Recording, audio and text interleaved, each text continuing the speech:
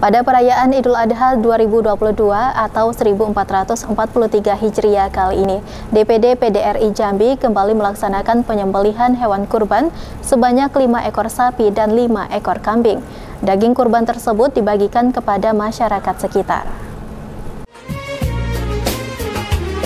DPD Perempuan Demokrat Republik Indonesia Provinsi Jambi kembali melakukan penyembelihan hewan kurban pada perayaan Idul Adha 1443 Hijriah kali ini.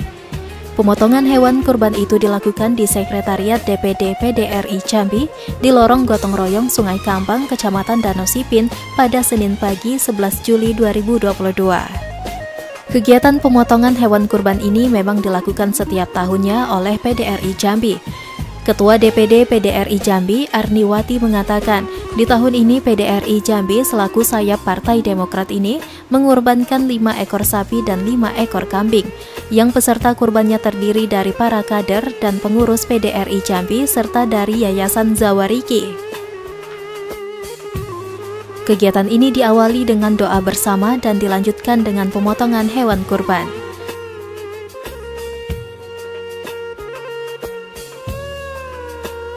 Arniwati menyatakan sangat bersyukur dengan pemotongan hewan kurban PDRI Jambi tahun ini dan berharap tahun depan dapat terselenggara kembali dan lebih banyak lagi pemotongan hewan kurban dari PDRI Jambi. Dalam hal ini, sebanyak 750 paket daging kurban dibagikan langsung ke masyarakat sekitar Sekretariat PDRI Jambi dan beberapa kader PDRI yang membagikan langsung ke rumah-rumah masyarakat yang membutuhkan. Penyerahan daging kurban ini juga disambut baik oleh masyarakat.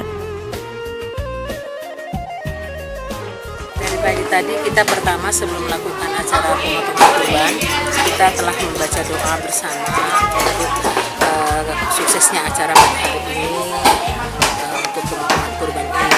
Dan hari ini untuk sapi ada lima ekor dan kambing ada lima ekor. Ada berapa paket daging lanjut? 750 paket yang kita sebarkan untuk masyarakat uh, di bawah naungan PDRI dan juga bersama Partai Demokrat kami telah melaksanakan kurban hari ini 750 uh, eh, baik itu kepada masyarakat luas maupun kepada tetangga di sebelah kantor.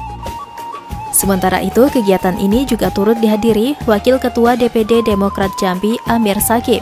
Ia menyambut baik adanya kegiatan tahunan PDRI Jambi ini dan turut mensupport kegiatan tersebut. Kami dari DPD sangat merespon dan berterima kasih dari PD, DPD PDRI Provinsi Jambi melaksanakan uh, kurban. Ini merasakan apa panggilan daripada DPD PDRI beserta jajarannya kami ikut mensupport karena kita mencontoh dari bagaimana uh, Nabi Ibrahim alaihissalam dan merelakan putranya Ismail alaihissalam melaksanakan kurban. Dimas Sanjaya, Cek TV, melaporkan.